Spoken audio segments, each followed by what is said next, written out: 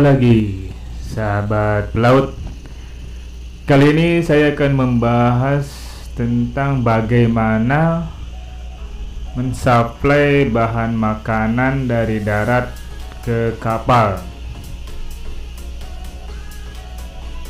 Karena di kapal itu tidak bisa kita mencari makanan. Jadi semua harus disuplai dari darat makanan kering ataupun makanan basah semuanya tetap dari darat menggunakan transportasi longboat. Berapa hari Pak? Untuk 15 hari. 15 hari Pak. Oke, jadi kuat ya. Ya. Bapak dari TV mana? Saya TV tidak ada nama Pak. Oke. Oke, proses. Isinya sekarang terancam, Pak. Ya, Kurangin. Ini satu perahu ini memuat makanan kering dan makanan basah untuk waktu 15 hari. Jadi dalam satu bulan memerlukan belanja makanan dua kali 15 hari per 15 hari.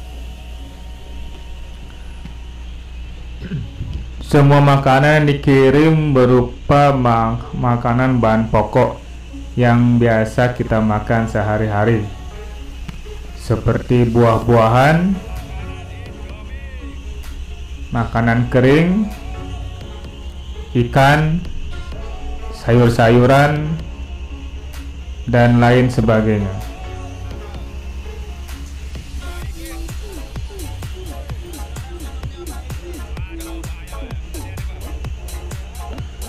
Semua bahan makanan ini kita simpan di store dapur.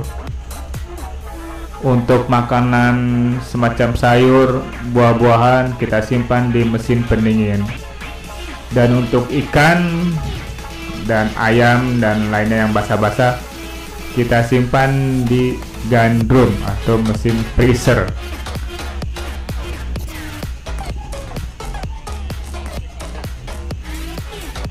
Dan juga kelengkapan yang lain untuk keperluan di dapur kita kirim semuanya dari darat menggunakan perahu atau longboat yang sudah disediakan dari office.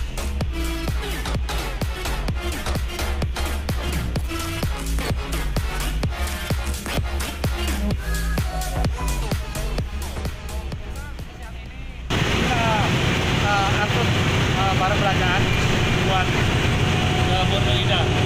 Berapa hari Pak? Ah, buat satu bulan. Oke. Oke, terima kasih. Oke.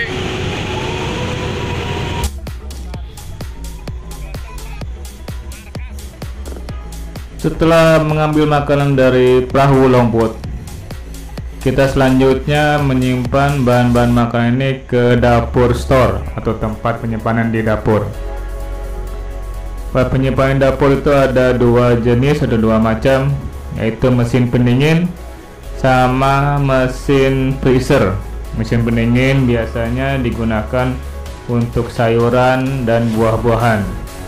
Sedangkan mesin freezer pembeku itu untuk makanan basah seperti ayam, daging,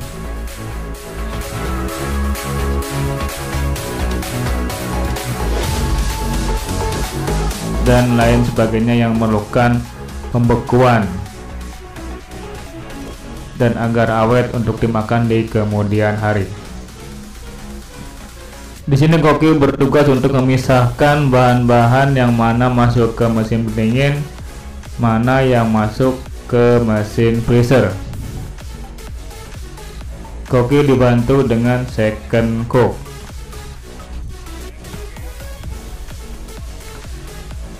Ini suasana di dapur tempat masak meliputi ada empat plate hot plate tempat masak karena kita di sini menggunakan elektrik.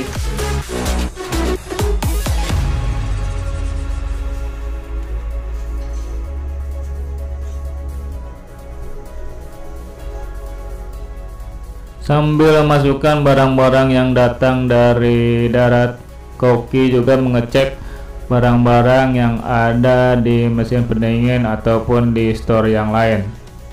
Seandainya barang itu sudah tidak bagus dan tidak layak dikonsumsi, maka barang tersebut harus segera dibuang karena tidak baik untuk kesehatan.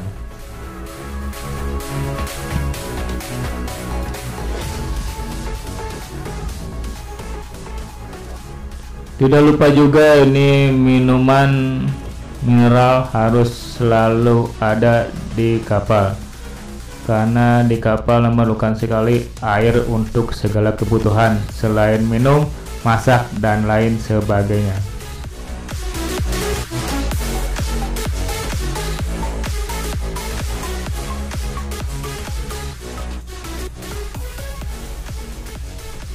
Kita semua kru bekerjasama untuk mengangkat makan-makanan dari perahu ke kapal dan sampai ke tempat penyimpanan di dapur.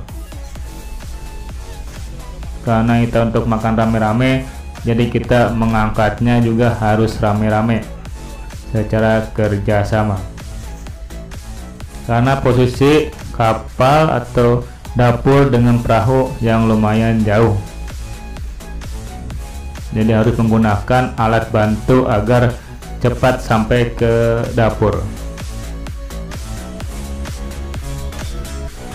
Untuk makanan kering di dalam udah disiapkan koki.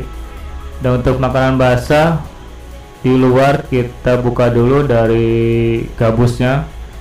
Kita ambil ayamnya atau ikannya dan kita buang itu SS nya karena sudah tidak digunakan lagi untuk makanan basah ini seperti ayam, daging, ikan harus cepat langsung dimasukkan ke mesin pembeku atau mesin freezer setelah dibongkar dari gabus styrofoam untuk menjaga agar kualitas daging ayam ikan tersebut masih segar